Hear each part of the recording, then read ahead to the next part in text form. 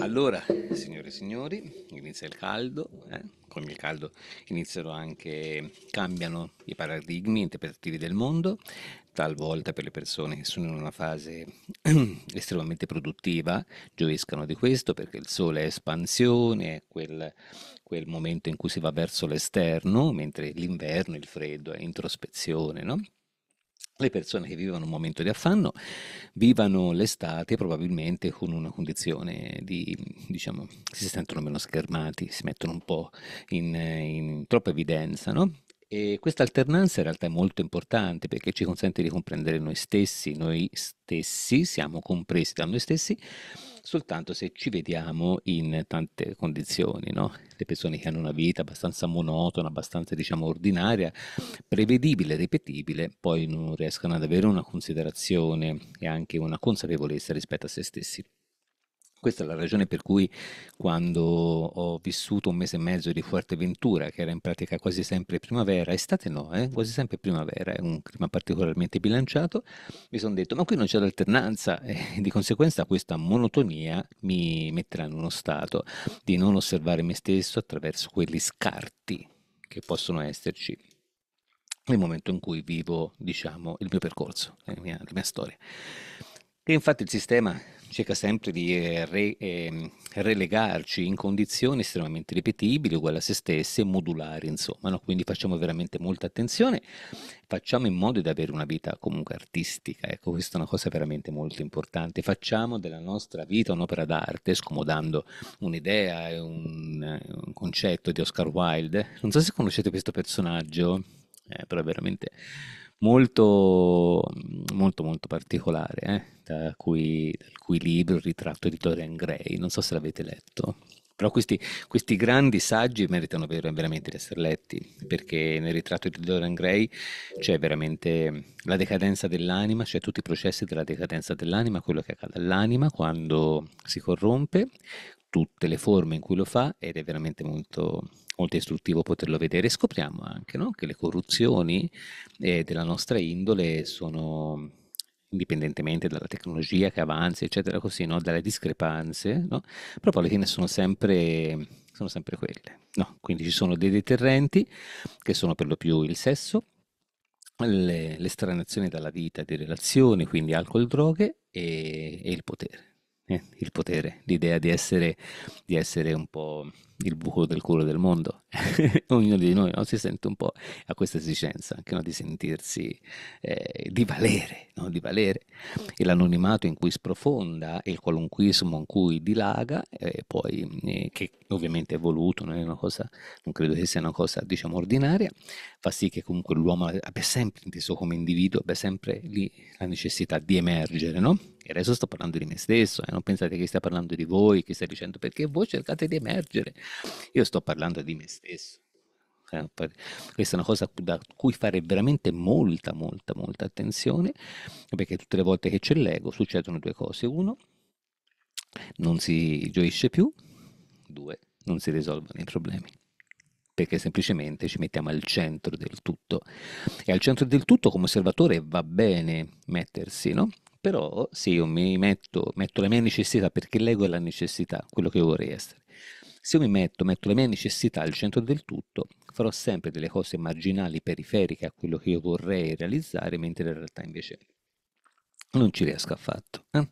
Perché e spesso si sente, e sento discorsi del tipo, eh, sai, mm, non riesco a risolvere questa cosa perché eh, io nell'altra vita eh, eh, ho rubato, quindi io gli faccio, minchia, ma chi te l'ha detto? Dice, no, sai, ho speso dei soldi, ho fatto un corso di risveglio. E c'è uno che le vede queste cose e mi ha detto questa cosa qui. L'ho fatto bene e lui fa benissimo a dirtelo perché si è pagato per questo, minchia, anche io questa cosa ti direi, se tu mi paghi, minchia. Ma tu ci hai creduto? E dice certo, eh, perché no? Perché infatti, mi dice, infatti ho proprio difficoltà, non riesco proprio a risolvere i problemi. Eh.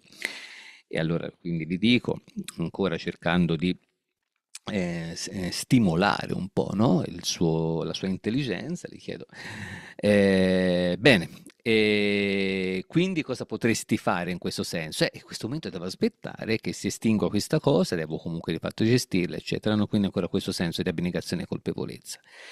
Quello dell'anima, di persone che non hanno l'anima, è un esempio. Quello delle persone eh, che dicono di aver commesso dei reati no? nella vita passata, addirittura anche delle problematiche, no? eh, di relazione che ci perpetriamo e ci portiamo dietro, no? attraverso tutta una serie di interazioni che ci sono state nell'altra vita, così no?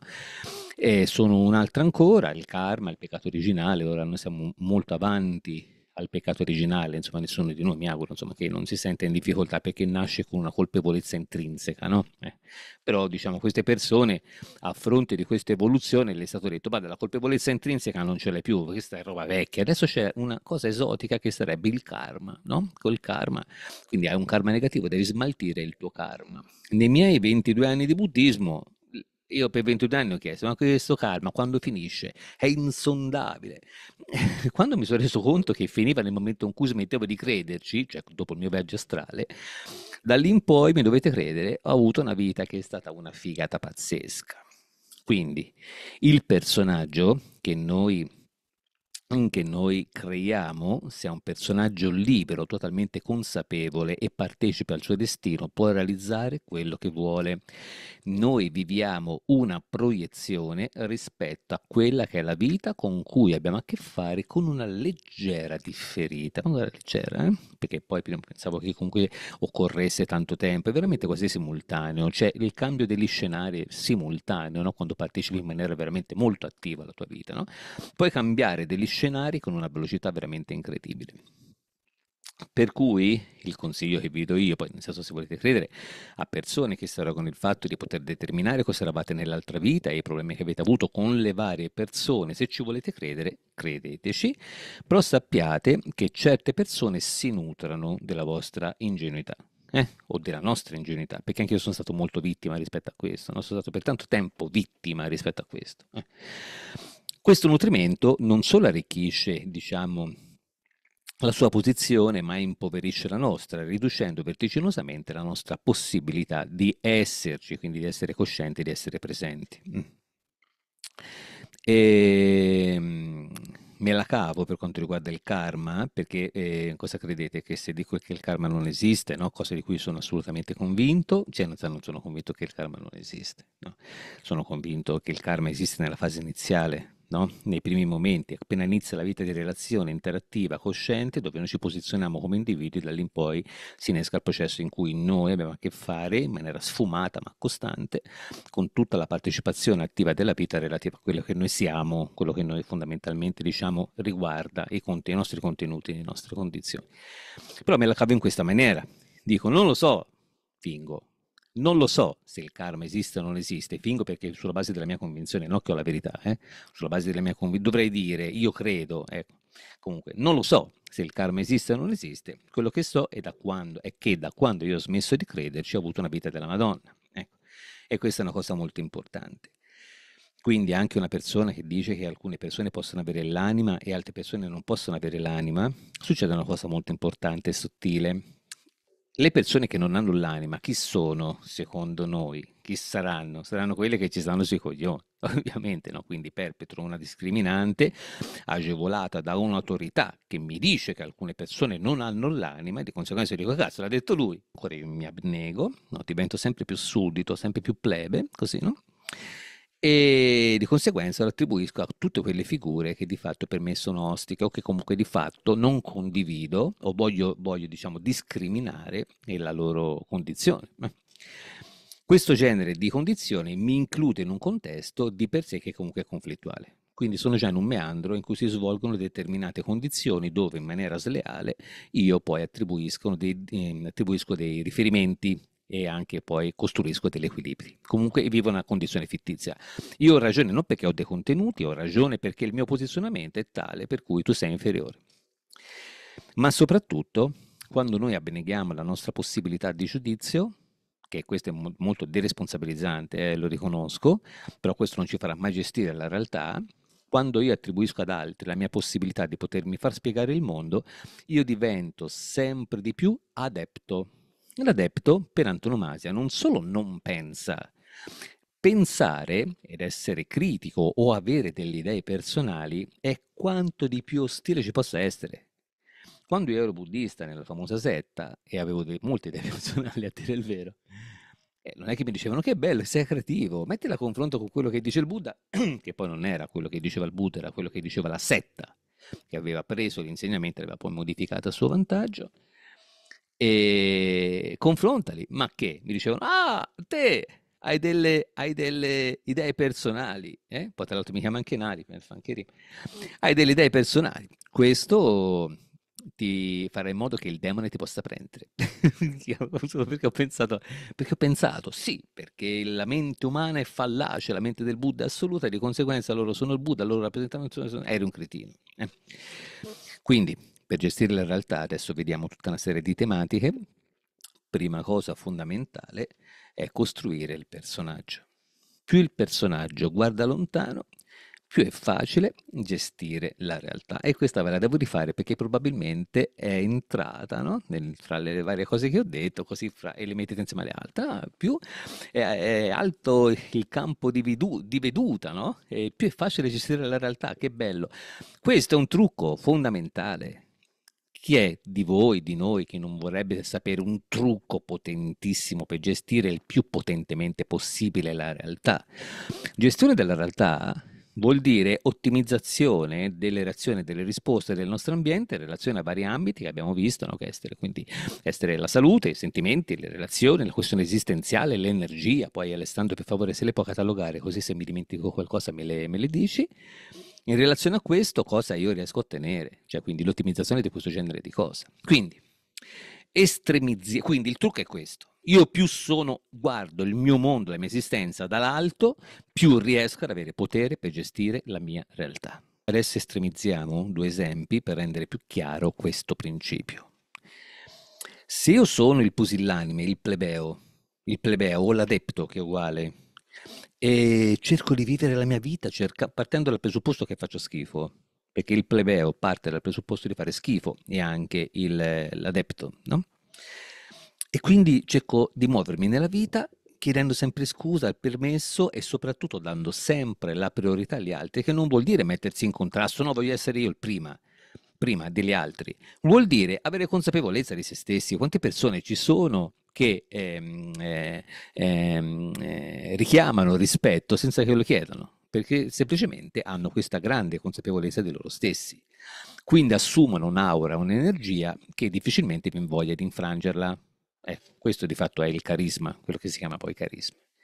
Quindi una persona nel momento in cui smette di essere pusillanime e inizia a essere una persona che sente di esserci, allora a quel punto inizia ad avere sempre più potere per quanto riguarda la sua possibilità di poter gestire la sua vita sempre più potere non vuol dire combattere quello degli altri, perché il nostro ecosistema energetico è tale per cui ogni posto, ogni posizione, scusate, ha il suo posto che molto difficilmente andrebbe in contrasto con gli altri. Perché vedete, spesso noi per quanto riguarda la nostra possibilità di relazione, prendiamo ad esempio quello che è il mondo animale. Quindi c'è il leone che quando mangia, quando mangia l'altro animale, no? ovviamente ha, uno, ha, un'azione aggressiva, predatoria, e di conseguenza lo mangia. E quindi diciamo, cazzo, il mondo funziona in questa maniera. Funziona che comunque ci sono le prede, quelli che, quelli che predano. E quindi questa è una legge naturale. E purtroppo questa è una visione invece parziale, perché nel mondo animale ci sono anche tante specie che vivono tranquillamente in armonia con gli altri. Eh? E in India, per esempio, ci sono due tipi di scimmie, ora non so i nomi, però sono una chiara e una scura. Quella scura, che ha anche provato a, ad aggredirci, a me a Sonia, e ci siamo veramente cagati in mano, non so se avete mai avuto a che fare con una scimmia che, insomma, così libera che vi vuole aggredire, perché si muovono anche in gruppo, no? con questa dentizione incredibile, così, no? E che sono quelle cattive, sembrano estremamente aggressive no? anche tra di loro, così. E poi c'è questa specie bianca? Hm, più chiara, scusate, che sono estremamente pacifiche e quindi le vedi durante per la strada, no? la, il bello dell'India, io ci ho, fatto una croce in India, non ci vorrò mai più andare, però insomma sono andato due volte, però Il bello dell'India è che comunque vedi questi scenari che sono veramente sembra di guardare un documentario a fine. Uh, se sei dentro una macchina, diciamo pulito così, non hai problemi, non vedi la spazzatura, diciamo sei, sembra di guardare un documentario. Ecco, diciamo. Quindi durante, mentre si va per la strada si vedono questi gruppi no, di queste, queste scimmie no, e, nere, sempre in conflitto, così, no, e poi vedi quest'altre, no, dopo un po', no, eh, vedi quest'altre pacifiche così, no, che praticamente mangiano e trombano e basta. Infatti sono il gruppo più, più grande, no, sono molti, molti di più, no, e vivono pacificamente la loro condizione. E loro non sono predatori, loro non, non, sono predatori, loro semplicemente sono vegetariane, in India c'è tanti alberi, vanno nell'albero, prendono la foglia, se la mangiano, quello che sarà il frutto, che ne so, banane spesso, e di conseguenza vivono la loro vita. Quindi anche noi potremo vivere una vita estremamente pacifica, o quantomeno pacifica forse non è un termine che mm, sarebbe giusto usare, equilibrata, bilanciata senza pensare che la mia libertà possa essere garantita a discapito di quella di un altro, quindi trovare il proprio equilibrio nel proprio ecosistema. Ritornando alla questione dell'ego eh, o della pochezza o della grandezza con cui io vado a osservare la mia vita, la cosa determinante da mettere in rilievo è che se io sono pusillanime, sono piccolo, sono, sono, sono, sono eh, insapido, eh, io avrò un potere, per quanto riguarda la mia vita, estremamente limitante, ma non perché non ho potere nel mio ambiente, perché non ho potere su me stesso, perché sono io il primo che eh, ho un'azione mortificatoria nei confronti della mia condizione. Questo è l'esempio diciamo che va a descrivere quella che è la condizione di una persona eh, ai minimi termini. Riportiamolo all'esempio di una persona che invece sa di esistere, che non vuol dire essere re, non vuol dire essere culturisti, non vuol dire essere super mega fighi, fighe, eccetera, vuol dire avere consapevolezza che io sono nel mondo, ma non sono del mondo, cioè che io sto vivendo un'espressione parziale, fine a se stessa, totalmente insignificante nei contenuti, ma determinante nell'essenza, esperienza esistenziale sono di passaggio in un contesto in cui posso portare il mio stato di coscienza in maniera tale da avere un'interazione, questa interazione mi produce un risultato nella mia vita che va a nutrire la mia eternità. Perché tutto quello di illusorio che io posso fare per quanto riguarda il fatto di eh, realizzare delle cose, avere tante relazioni sessuali, avere tante relazioni di ogni, di ogni genere, avere soldi, avere potere, avere fama, avere ricchezza, tutte queste cose, se vanno a nutrire il senso per cui esiste, solitamente noi quando le abbiamo queste cose e hanno, rispondono al senso di mettere, portare l'attenzione sul fatto che esisto, mi va anche a ricongiungere con gli altri, quindi sarà una predisposizione verso gli altri, questa condizione, diciamo, di privilegio che mi sono garantito. Quando invece vanno a segnare una discrepanza fra me e gli altri, allora a quel punto vanno a nutrire soltanto l'ego, che non è che è peccaminoso, vanno a nutrire quella parte che mi fa dimenticare che io esisto. Perché il problema del materialismo è che ti fa dimenticare che esisti. Inizia a essere ad appartenere a tutta una serie di cose che hai realizzato facendoti dimenticare di te. E quindi te cosa sei? Io sono la macchina grossa che ho. E te, biondona, cosa sei? Io sono le labbra che mi sono rifatte, sono le tette che ho. E la mia facilità nel darla a più persone possibili.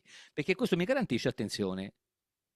Oppure mi dà anche la sensazione di poter esistere perché procuro piacere agli altri. Queste, questa è una cosa veramente molto importante, quindi prima di gestire la realtà costruiamo il personaggio.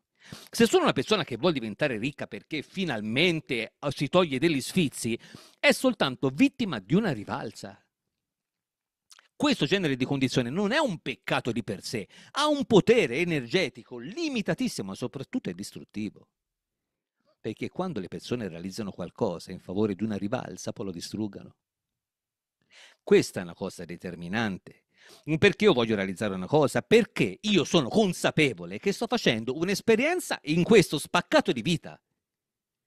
Io se sono venuto qui con un patrimonio di informazioni con determinate caratteristiche, vuol dire che io provengo da un altro tipo di condizioni dove ho costruito qualcosa. Se io conosco i frattali, so che la mia estensione di questo percorso di vita potrà perpetrarsi dove il mio patrimonio di informazioni ne potrò usufruire in un'altra contestualizzazione. Se ho una visione materialistica dico, vabbè, se no non mi ricordo nulla, allora che senso ha, scusami. Se ho una visione esistenziale dico, ragazzi, ma la vi- se sapere la vita, percorrere la vita in maniera estremamente consapevole è di per sé fonte di gioia, perché noi, indipendentemente da tutto, l'unica cosa che cerchiamo realmente è la gioia che poi gli diamo il nome di tante relazioni, tanti soldi, tante macchinone, tante casone, quello che volete, ma noi rincorriamo la gioia. Noi siamo amanti della cultura perché tutte le volte che apprendiamo lucidiamo un po' questa nostra condizione altrimenti opacizzata. Quindi consapevolizziamo vi, immaginate se voi eh, eh, lavoraste prima ancora di gestire la realtà sul personaggio. Io chi sono? Io sono Dio che sto creando la mia realtà. Sono Dio in questo pianeta, in questa condizione, sono Dio di me stesso. non voglio essere Dio anche degli altri, perché non funziona così. Io sto creando la mia realtà, perché ognuno di voi, ognuno di noi, se volesse, potrebbe distruggere la propria vita eh, in tre secondi. Vuol dire che non siamo artefici del nostro destino. In maniera distruttiva, che è sempre molto più facile. In maniera creativa richiede un po' più di talento, ma ce la possiamo fare tranquillamente. Quindi io consapevolizzo di essere Dio nei confronti del mio scenario, di, eh, consapevolizzo di essere l'artefice del mio destino e che sono qui per fare un'esperienza che serve al mio proseguo, al fatto di esistere. Da cosa mi devo far guidare? Dai risultati? No. Questa è un'altra inculata di sistema. Io devo essere performante, ottenere risultati. No! No, è un'inculata. Io mi devo far guidare dalla gioia. Goethe diceva, provare gioia per l'essere umano è inevitabile, è una condizione inevitabile. Se non provate gioia, vuol dire che c'è un errore. Andate a cercare l'errore e rettificatelo guidarsi dalla gioia, non guidarsi dai risultati. Ma insomma basta anche vedere e controvertire quella che è la condizione del sistema che cerca di propinarci, no? cosa ci fa prevalere, a cosa dà peso, a cosa dà importanza il sistema, alle persone più intelligenti, alle persone di maggiore cultura. Prima era così, eh? Prima una persona di cultura, anche se era uno sfigato dal punto di vista strutturale, era un, una, cosa incredibile. Non guardate Maria Teresa di Calcutta, che potrebbe essere un, un, modello di una persona umile, che poi non la guardate perché vi posso dire così, vi butto anche un altro mito. Io parlo proprio per quanto riguarda le persone di cultura, non so eh, chi c'era all'epoca, ehm, erano tutte abbastanza affermate, a dire il vero, perché mi viene a mente Pirandello. Pirandello non va sottovalutato, eh? Eh, comunque, diciamo, personaggi o anche, diciamo, boh, non mi viene in mente nessuno. Comunque, prima era messa in valore, una delle cose più ambite era la cultura, era il fatto di sapere, il, il tesoro, la ricchezza proprio della conoscenza, no? Adesso invece il, la persona viene, viene, apprezzata semplicemente sulla base di quello che ha. Quindi se una persona in, in politica si mostrano dei personaggi che io dico, io dico, va bene, una persona che va a votare ordinariamente non capisce un cazzo. Però non li puoi mettere de- delle persone così, che solo perché sono piazzate, magari sono medio borghesi, no? Li si dà subito fiducia perché si pensa che possano riuscire a comandarci meglio. Dei personaggi veramente agghiaccianti. Perché comunque noi diciamo istintivamente diamo valore e apprezzamento alle persone che sono piazzate nella società, che non vuol dire che se una persona è piazzata e contestualizzata nella società è un pezzo di merda a prescindere, vuol dire che non deve essere un criterio predominante. Assolutamente da concepire da co- e da considerare in maniera fanatica, perché se io faccio in questa maniera ho subito una grandissima deformazione, che il mondo non reagisce a quello che hai, il mondo reagisce a quello che sei. Quindi il sistema farà in modo di darti delle cose anche se non le meriteresti perché in questa maniera ti colloca in un sistema di prevalenza.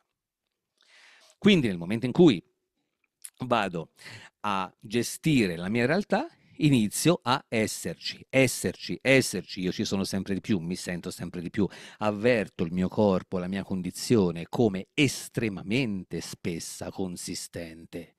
Bisogna stare da soli non si spende nulla. Questa è la buona notizia. Dobbiamo stare da soli. Sì, sì, sto da solo ma ascolto la musica. No, no. eh, sto da solo, mi le- anche mi leggo un libro, questo va bene, leggere un libro per l'amore del cielo, no? Sapete, nel libro quando io leggo richiamo le mie immagini, creo il mio mondo, sviluppo il mio mondo, che già di per sé è il mio patrimonio, quindi è molto più di riferimento. Questa è la ragione per cui il libro piace sempre di più del film. Nemmeno quello però, da soli. Ah, vai a passeggiare da solo. Vai, mm, vai, oppure, parlo sempre della passeggiata, vai a fare snorkeling. Conoscete lo snorkeling? Sno- andate in un posto bello dove non avete troppe, diciamo, troppe, troppi problemi di corrente o di altro, vi mettete la maschera, un boccaglio, cannello, si dice in Toscana, andate a nuotare, no? E vi sembrerà di volare no? nel perfetto silenzio. No? E andate lì a guardare le cose. Poi c'è anche questo, questo ritorno estremamente ovattato no? del suono che ti restituisce il suono, no? e poi sei in un'altra dimensione. Quando si parla di dimensioni, non la terza, la quarta dimensione. Ragazzi, non credete a queste stronzate. Non credete a queste stronzate. A meno che una persona non vi possa determinare per filo e per segno come la quinta dimensione. Sì, ve la può spiegare. Dice, ma me la fai vedere? Per vederla bisogna fare il mio corso da 1000 euro. Le dimensioni sono delle proporzioni che non sono osservabili da questo scenario. Si arriva a osservare da questo scenario in cui noi siamo soltanto quattro dimensioni, che sono larghezza, profondità, e altezza, profondità, larghezza e il tempo cioè quindi il tempo in cui questa cosa si svolge. Da lì in poi la quinta dimensione è una condizione che per quanto possa essere spiegata non è osservabile da questo sistema. Io da questo sistema non lo posso nemmeno interpretare, non posso nemmeno capire perché i parametri, i paradigmi con cui osservo questo mondo non me lo consentano. Io riesco a capire un sogno nonostante sia un'altra dimensione, perché comunque riguarda sempre le contestualizzazioni che comunque di fatto mi consentono di poter def- decifrare quello che sto vedendo sulla base dei parametri che ho in questa vita. Se io vado in acqua, sono in un'altra dimensione, cambiano i pesi, cambiano le misure, cambiano le proporzioni, cambia tutto. Però nel momento in cui io un, eh, riesco a guardare un corpo che si muove nell'acqua, lo posso osservare attraverso i parametri di questa dimensione. Quindi anche per quanto riguarda la quinta, la sesta, la settima dimensione, per favore non credete a queste cazzate, perché sono, eh, sono da mettere in tutte quelle cose che di fatto non hanno dei riferimenti stabili, dei perimetri di orientamento, che semplicemente a me mi fanno sentire figo se parlo di queste cose, perché sono cose che gli altri non possono capire perché non esistono, e di conseguenza questo fanno di me un figo. Questa è manipolazione. Non vi fate manipolare. Guardate, la magia del mondo non va cercata in quello che di fatto è nell'oltrecoscienza. La magia del mondo è in questo. Il paradiso è questo. Se però una persona prova dei disagi, avrà comunque un'alienazione nei confronti della sua vita e lo chiamerà, diciamo, estensione, approfondimento, non so che cosa. Però di fatto sarà sempre un tipo di condizione che sarà eh, in riferimento a quella che io vivo, anche, il, anche, anche l'astrale anche l'astrazione è un altro tipo di dimensione. Ma io, c'è un momento del mio viaggio astrale dove ho visto delle cose che non, non sono riuscito a capire. A un certo punto poi si è dissipato tutto, se, è come se i parametri di percezione di questo contesto dimensionale si fossero ordinati un attimino, ma ho continuato a non capirci un cazzo. Sentivo i gridolini di bambini felici, perché il gridolino di bambino felice mi rende felice. Bambini buoni, precisato anche, perché i bambini a volte possono essere anche un po', diciamo, provocatori. Però alla fine io non riuscivo a capire nulla, c'era un casino. Quindi è molto importante considerare la nostra eternità come un'espressione osservabile sulla base dei parametri che abbiamo, ma che è sempre solo determinata a questo mondo. Io posso soltanto andare un po' fuori dai perimetri di questa esistenza, ma sempre consolidando e considerando quelli che sono i parametri di questo mondo, di, questi, di, questi, di queste contestualizzazioni di riferimento, è il paradigma.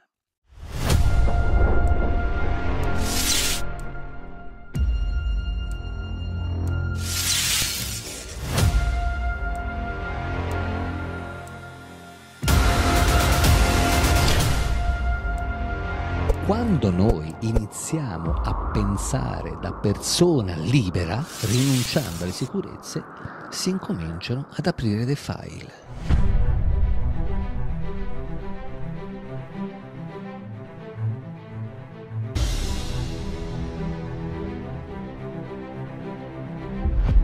Non si parla tanto di anima, prendi l'anima, lasci l'anima. Ti prendono l'anima quando tu sei qui per fare delle cose e ne fai altre, per convenienza o per paura. È lì che stai corrompendo la tua anima. L'anima da intendersi come la nostra vera essenza, che tutte le persone hanno. Tutte le persone hanno. Sicuramente ne può essere dissociato e di conseguenza può non essere manifesta. Però è veramente molto molto azzardato dire che qualcuno non ha l'anima. Questo è un vecchio trucco. Determinare delle discriminanti che nessuno può indagare solo a fiducia del leader della setta che costruisce.